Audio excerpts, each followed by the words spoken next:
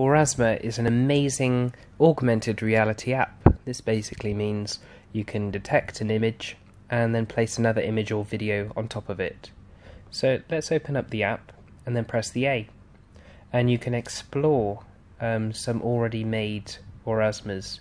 And you can see some famous logos there which it will detect and put something else on top. So have a go at that. Let's create our own by going to the plus button and it will load some overlays for you. So just have a look at which ones you might like. These are the ready-made ones. So I'm just going to choose the dragon because in my classroom I've got this uh, Chinese New Year um, lucky, um, well, a decoration basically. So take a photo of that, give it a quick name.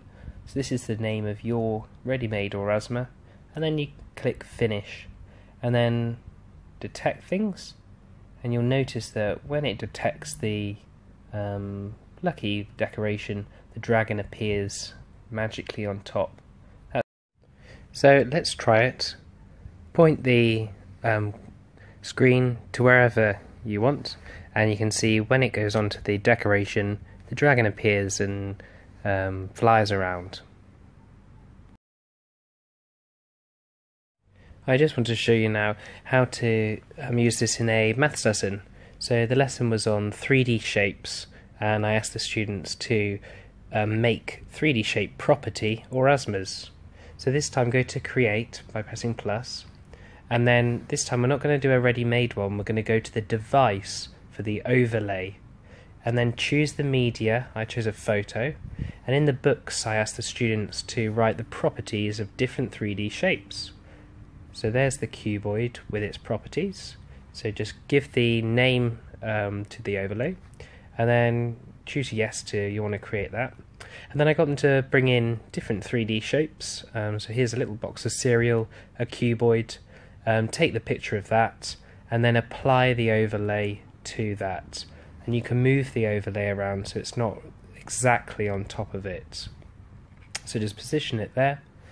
Uh, give your full Aurasma the name. I'm just going to call it cuboid Aurasma.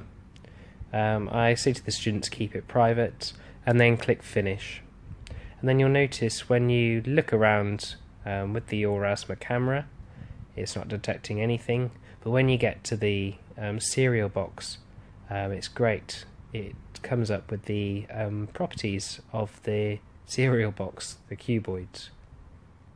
It's a really nice tool um, to use in um, shapes lessons, especially.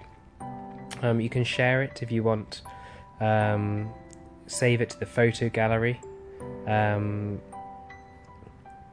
yeah, there's lots of things to do. Thank you very much.